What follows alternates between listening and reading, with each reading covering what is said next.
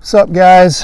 We're going to do a little drill today and uh, it's going to be a drill that illustrates the importance of the rifle to shoulder connection, the use of the firing hand for grip on the rifle, and the power of breath. So I'm going to shoot five rounds at a target at 100 yards without the use of a rear bag and all I'm going to rely on is the rifle to shoulder connection, grip of the shooting hand, natural point of aim, along with a natural respiratory pause.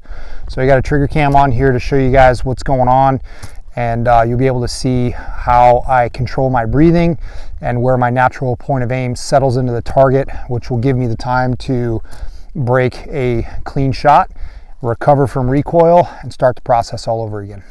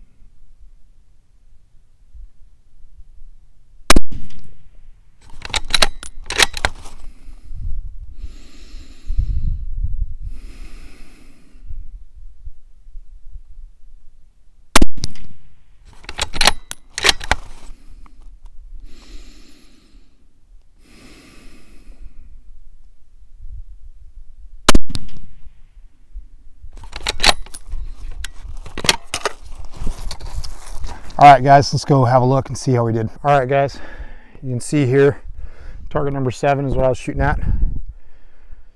Not too bad without a rear bag and relying just on natural point of aim, natural respiratory pause, rifle to shoulder connection, grip of the shooting hand.